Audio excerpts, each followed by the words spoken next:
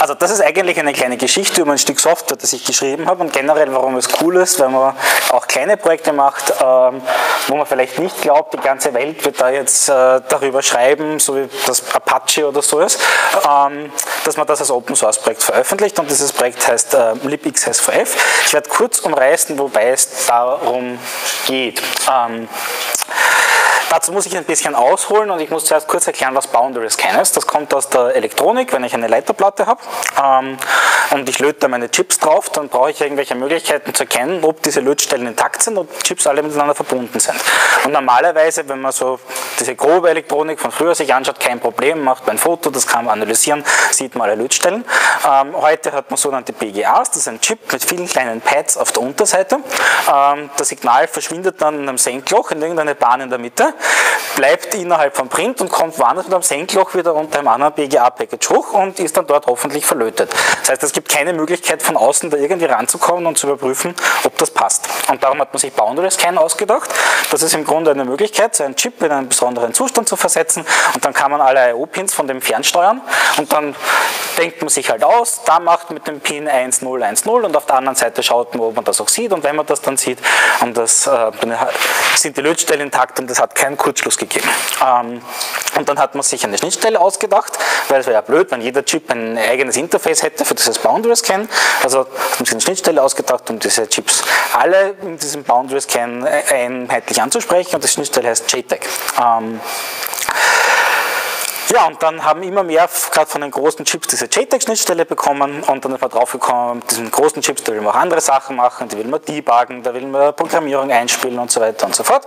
Ähm, und das macht man einfach über diese JTAG-Schnittstelle, weil die ist ja schon da. Ähm, das heißt, damit ist diese Schnittstelle auf einmal viel, viel wichtiger als nur für dieses, dieses, diese Produktionsaufgabe, die man beim Boundary Scan hat, dass man überprüft, ob das auch richtig ist oder nicht. Jetzt gibt es so Dateien, ähm, SVF-Dateien, in denen steht im Grunde drin, was soll man auf diese JTAG-Schnittstelle hinschicken. Und wenn ich jetzt irgendein äh, Tool habe, um Software zu entwickeln für FPGAs zum Beispiel, dann können die über viele Umwege solche SVF-Dateien ausgeben und die kann man dann in die JTAG-Probes hineinwerfen und die programmieren dann die ganzen ähm, ähm, Chips auf so einer Platine.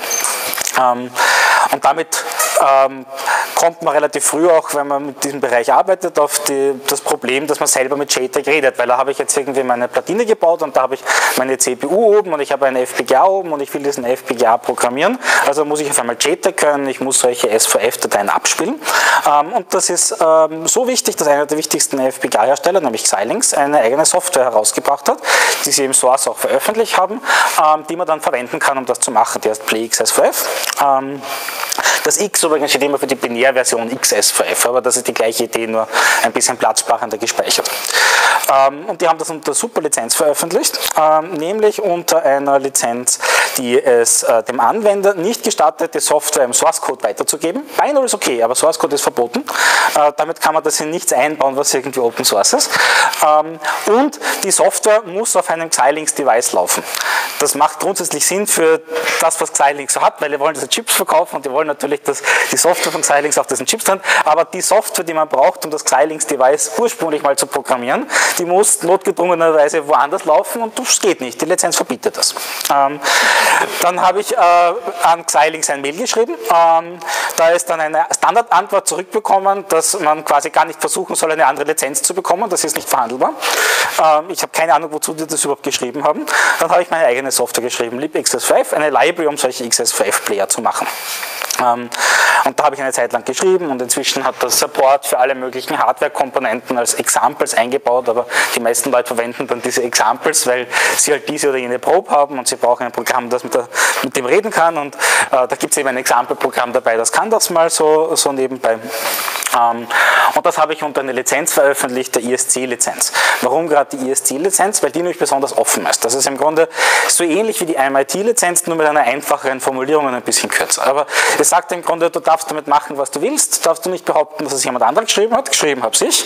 Und wenn irgendwas schief geht, darfst du mich nicht verklagen. ähm, Und ähm, was habe ich da unter veröffentlichten Lizenzen mir gedacht, vielleicht kann es irgendjemand brauchen. Und möglichst offen, weil gerade bei Embedded-Entwicklung, da will man das ja jetzt nicht ähm, unbedingt einschränken, gerade bei was, was vielleicht in einer Woche nachimplementiert ist. Da setzt sich jemand hin und sagt, ah, ich habe gesehen, Sie haben da diese Software geschrieben, aber leider ist unter der GPL und wir würden Ihnen gern viel Geld dafür geben. Nein, da sagt man Programmierer, schreibt das. Ja, so, so ist es ja auch zu libxs5 gekommen, weil das andere nicht unter einer brauchbaren Lizenz war.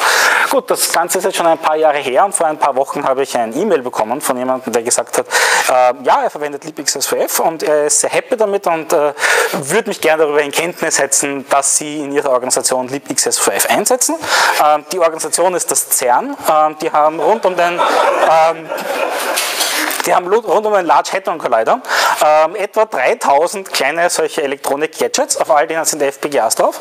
Die haben einen eigenen Feldbus entwickelt, CERN-FIP heißt der, mit dem die diese ganzen äh, über 3000 FPGAs, äh, die den Large Hadron Collider in allen Ecken und Enden steuern, äh, jederzeit auf eine neue Firmware-Update bringen können. Ich habe ein paar PowerPoint-Präsentationen vorhin zu dem Thema gelesen, da steht überall, dass sie das nur machen, wenn er ausgeschalten ist. Also, aber man darf mich nicht verklagen, ISC-Lizenz, also wenn das schief geht.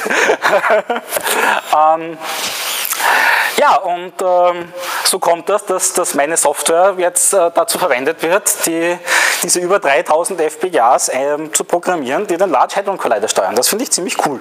Äh, und ich habe mir gedacht, das ist ein nettes Beispiel darum, warum das toll ist, Software auch unter einer freien Lizenz zu stellen ähm, und der Welt zur Verfügung zu stellen, ohne sich jetzt allzu viele Gedanken zu machen, was ist da mein Vektor, wie könnte ich da ein paar Cent rausquetschen. Ähm, ja, und schwarze Löcher, also wenn es wirklich dazu kommt, dass die Erde in einem großen schwarzen Loch äh, verschwindet, dann trifft mich möglicherweise eine gewisse Teilschuld, aber darum sind diese freien Softwarelizenzen ja immer so formuliert, dass da ein Haftungsausschuss drin ist. Das heißt, nicht verklagen. Genau. Ja, das ist, äh, ich bin jetzt zwar nicht haftbar, aber ich bleibe haften. Ja. Gut, äh, das war der erste Lightning Talk. Ähm, danke.